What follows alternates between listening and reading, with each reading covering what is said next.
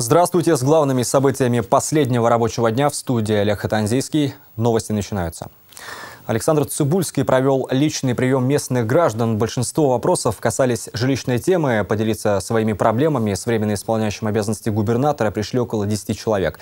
Общение состоялось в открытом режиме с участием муниципальных властей, руководителей профильных департаментов и региональных СМИ. Тем продолжит Иван Кутиников. Для тех, кто приходит на личный прием главе региона, это едва ли не последняя а реальная возможность решить свои проблемы. Проблемы, о которых муниципальные власти знают, но зачастую не реагируют на них должным образом. Яркий пример – история Валентины Слободенюк. Пороги чиновников женщина обивает далеко не первый год. Казалось бы, в относительно новом доме, где она проживает, это Ордалина 9, периодически протекает крыша, а еще не выдерживает канализация. Озеро из нечистот образуется в подвале. Качают через раз. Фотографий полно. Около септика море море. Они как придумали, открывают в подвале вот это, ну я их зову заглушки, а по-ихому, не знаю, ревизия или как-то так. Угу. И все льется в подвал. Вот сейчас месяц они устраняют, потому что я когда увидела, я там такое подняла, ходила к Васендину. А оказывается в курсе. Они вот засыпали, засыпали песком, и теперь до сих пор месяц выносят эти мешки.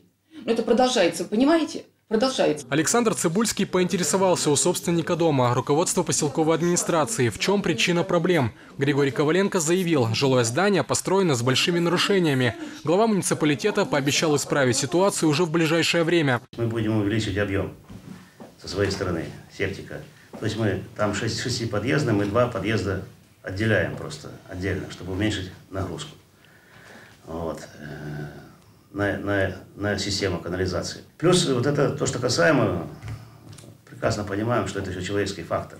Канализацию бросает не весь что, ну, то есть, потому что выбивает заглушки. И вот почему-то действительно в этой квартире попадает э, и на четвертый подъезд. Да, да. Глава региона отметил, нужно разбираться и с теми, кто в свое время принимал этот дом, в том числе обратиться и в правоохранительные органы. Если это не соответствует проекту, значит, это кто-то делал значит, с каким-то либо по незнанию, либо с умыслом.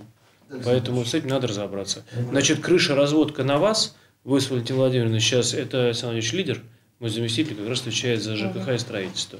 Это на вас работа, а септик тогда и вот эти вот ограничители для того, чтобы не все это не сыпалось, да, к Валентине Владимировне, то, что бросают в э, канализацию, конечно. Это на вас до конца сентября. Галина Кали, дитя войны, рассказала главе региона о проблемах жителей дома на улице Сапрыгина 4. Деревяшка, простоявшая полвека, сейчас находится в плачевном состоянии. Тем удивительнее, что в реестр ветхого жилья здание попало только пару месяцев назад. В доме нет никаких удобств, воду приходится носить ведрами с ближайшего колодца. Впрочем, по словам женщины, это еще не самое ужасное. Вот моя туалетная комната. Туалетная комната при открытии крышки можно видеть тараканов, ползущих снизу наверх. Можно видеть, как на тебя смотрит крыса. Вот когда в том году, по-моему, наводнение было крыс, помните? Вот сидели у вечного огня крысы, или поза тот год. Вот особенно тогда, вот эту крышку откроешь, они пытаются ну и на тебя смотрят. Так как жильцы старого дома смогут получить новые квартиры не раньше 2020 года, Александр Цибульский предложил следующее решение проблемы – включить детей войны в региональную программу переселения из ветхого аварийного жилья. До там, октября, условно говоря, до, первого, до первой сессии собрания депутатов, мы тогда сформируем это предложение. И действительно выделим э, ну, участников Великой Отечественной войны, мы там полностью мы знаем, там вроде бы у нас с этим а вот давайте дети войны тоже включим. Дети войны, может быть, труженики тыла тоже. Ну, те, кто нуждается, соответственно, в, в улучшении жилищных условий. В полном отчаянии на прием к главе региона пришел и Николай Хозяинов. Мужчина всю жизнь трудился в Заполярье. Сейчас по состоянию здоровья на работу уже не берут. Он инвалид по зрению. С таким диагнозом ему требуется регулярно наблюдаться у областных специалистов. Но возможности отправиться в Архангельск у мужчины просто нет. Я шестой год уже живу без денег на севере. Всю жизнь отработал. Я не знаю, что мне делать. Медицина мне не помогает. Потому что они меня хотят отправить в Архангельск, пожалуйста, они мне направление дают.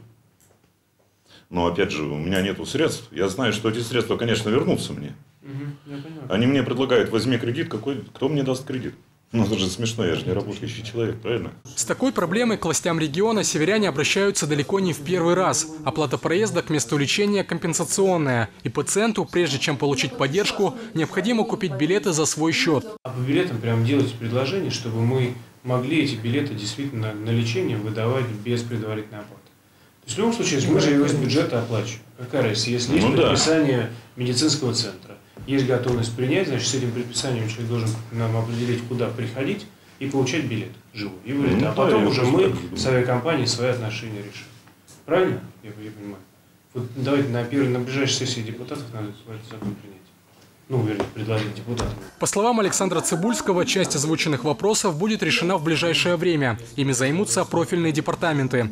Иван Кутейников, Александр Дуркин, телеканал «Север».